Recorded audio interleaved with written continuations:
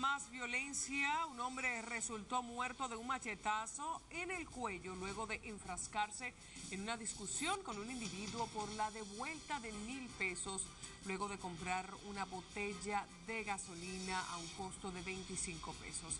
La víctima es José Luis García Pérez, 38 años solamente, y residía en la comunidad Las Lagunas en Moca.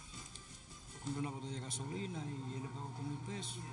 El señor se incomodó y se fajaron a la trompada, luego los apartaron y el señor después fue y se armó con un colín y le dio un machocazo.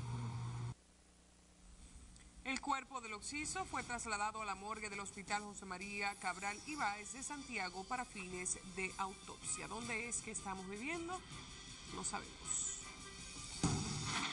La Policía Nacional informó que un niño de 8 añitos de edad fue asesinado de un disparo por un agente policial quien fue cancelado. El hecho ocurrió en la comunidad San Marcos en Puerto Plata. Este niño fue identificado como Ranciel de la Rosa Cabrera. Murió presuntamente cuando se le zafó un disparo al raso de la policía Sterling Martínez. Más muertes, un hombre y su hermano que resultó herido luego de ser raptado por cuatro individuos a bordo de una jipeta.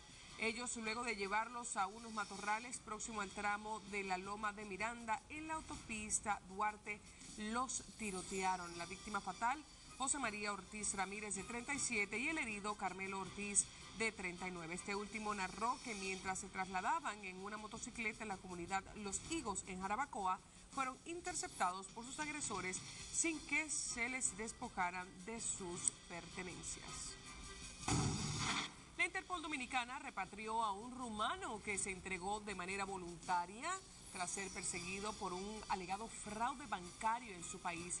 Víctor Panigú decidió aceptar su repatriación voluntaria al ser buscado con una orden internacional de captura y fue trasladado a su país en un vuelo en la aerolínea Air Europa con destino a Madrid, España.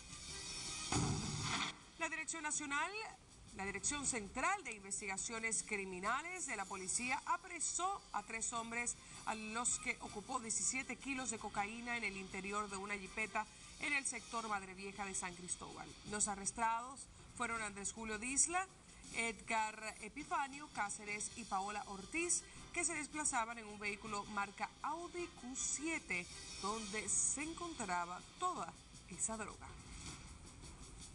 Nos vamos hacia los Estados Unidos, donde más de 20 personas han perdido la vida producto de la tormenta que aún azota el noreste de esa nación.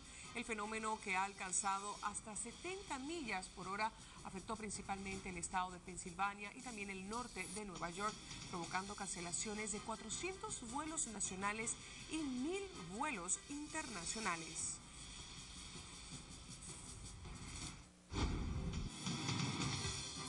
Unos momentos sabremos lo que la gente de Cotuí reclama para un violador. También más detalles sobre los aprestos de Sobeida para que la dejen en libertad. Les daremos detalles sobre la salud del dirigente sindical Ramón Pérez Figuereo. Mientras que el síndico de Santo Domingo Este se mantiene firme ante los reclamos de los jugueteros. Y en los deportes, les diremos las razones por las que el equipo de los Nets de Brooklyn despidieron a su entrenador Avery Johnson.